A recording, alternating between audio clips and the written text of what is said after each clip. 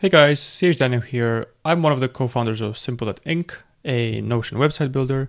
So um, let's see, today we're doing a podcast website uh, in Notion. We've got this presentation page here. Um, we're showing a couple of, of the things you can do with it, a couple of benefits and advantages, a quick how-to, blah, blah, blah, blah, blah. I'll just show you uh, what that means in uh, not in theory, but in practice. So um, I have my Notion page right here. This is a Notion page just like anything goes. Just create one and uh, whatever, do your thing. I have added for mine, I've added some text, a picture of myself, the latest episode, and this is an embed from Spotify. Um, check our YouTube channel, or if you're watching this on YouTube, go to our homepage, check out how we're doing this. I think it looks, and I, have been honest here, I said I just added a Spotify player because it looks coolest, but um, this is how it looks like otherwise. I don't even use Spotify myself. Um, some highlights. Anyways, whatever. This is the website. Um, this method is free, it's fast, and it's optimized for as little headache as possible. So um, you can you're either ready with your website with your Notion page, or if you want to save time, just get one of our templates in here. Uh, we'll add more than what's visible in this in this video, um, and click duplicate, edit your thing, but whatever. From the moment you're done, this is what you'll do. You need to go to share in the upper right corner. Very important. Go to share. Don't get this link. Go to share. Tick this on. Share to web. And now you get something like this. A word or two. Dot notion. Dot site slash blah blah blah. Click copy, and um, you can either paste it here or on our homepage or whatever, anywhere you find this specific form, paste it and click try creating a new website. Now I myself, I already have an account, so I want don't want to trigger a new account. I want to stick to mine. So what I'll do is, or if you already have an account, just follow this, add a new website in your Simple.ink dashboard. Um, paste the link right here. So I'm doing Command V, or you can do right click paste, or you can do Control C if you're on a Windows. But this is what it does. If you would have used this, oh, and I just said on the homepage, but it's here as well. Uh, if you would have used this, you would have gotten to this exact same place. So we're, we're, we're at ground zero right now. Where will your website be? By default, simple.ink gives you a sweet, short subdomain. So, um, no, it gives you a free subdomain, but the domain is sweet and short. That's a better way to put it. So you can just type in anything. I'll call mine the uh, usual suspects. I'm using some dashes so that if there's another usual suspects podcast out there, it won't be, um, I won't just take your domain. So pick anything. If you've got a custom domain such as theusualsuspect.com, .io, .so, whatever, save that. Everybody starts on a free plan to make it easy and simple. And then if you want to add a custom domain, that's a paid feature. You need to get onto a paid plan. But, but, but, but, it's free. Uh, we've got a generous free plan. So using a simple.ink subdomain is free and I think quite useful.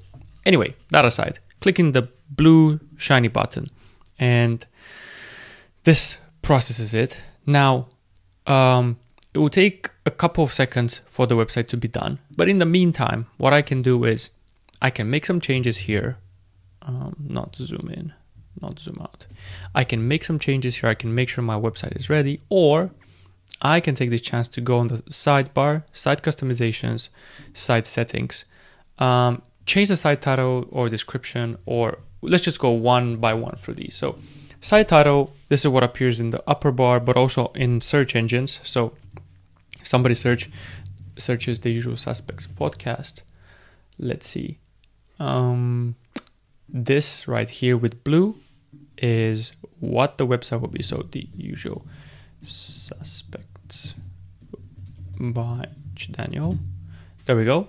And site description is what will appear right here, right below the color text.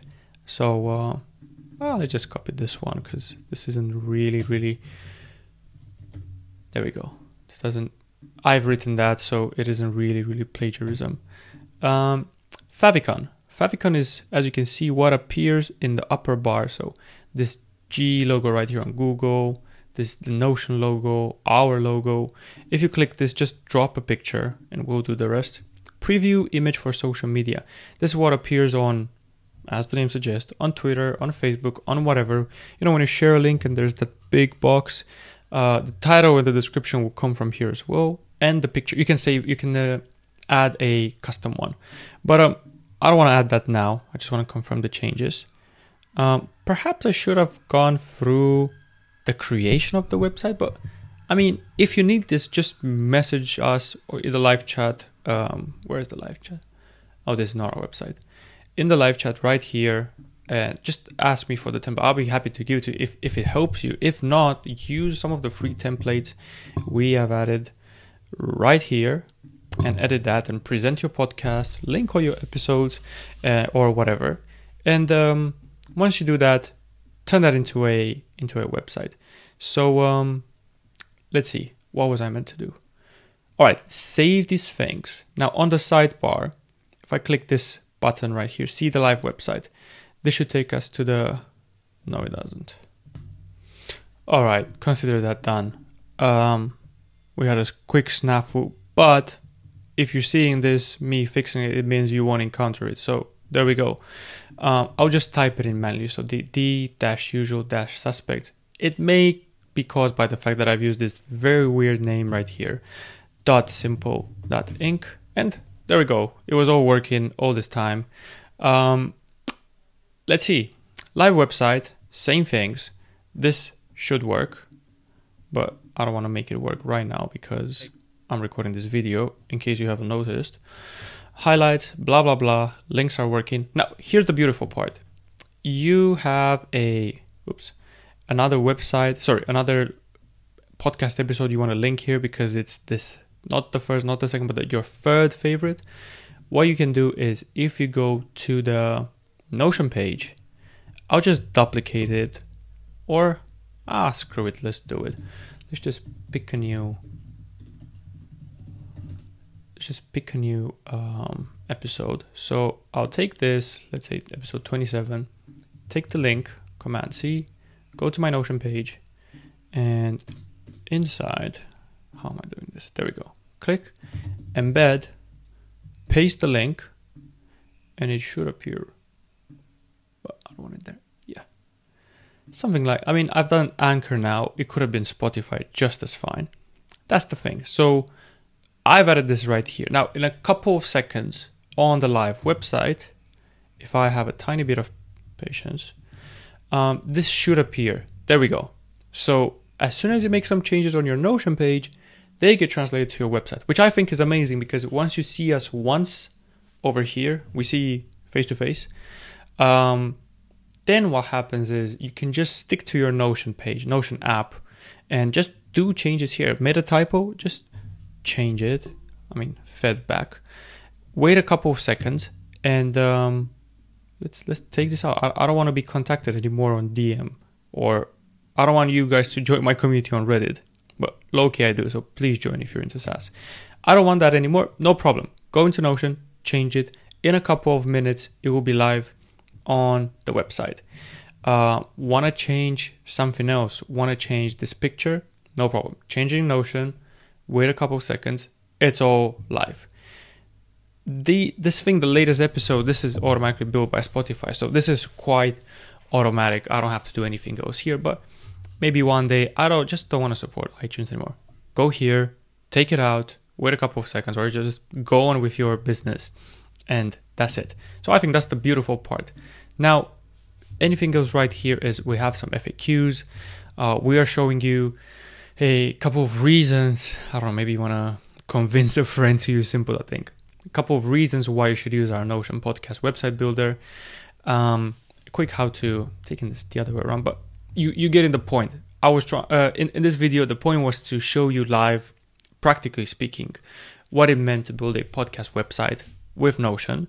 Once again, from the moment the Notion page is done. But um, this is this this was it. It's no code. It's free. It's hassle free as well. Um, takes. I mean, I've taken the long way here trying to explain all this stuff, but ideally, people once they start building websites with Simple, I think they get not addicted because we don't want to be damaging to society, but they keep on creating more. And this is really why we've made simple. I think I'll, I'll end soon, but the point is when people have lower barriers of creation, more stuff is being created, obviously. And maybe stuff that would have been created otherwise, and maybe it is the stuff that will change the, the world. But this isn't why I clicked on this video. Thank you for watching. Let me know what else uh, you want us to cover for your podcast websites. Let us know if you need any help right here. You can find us right here.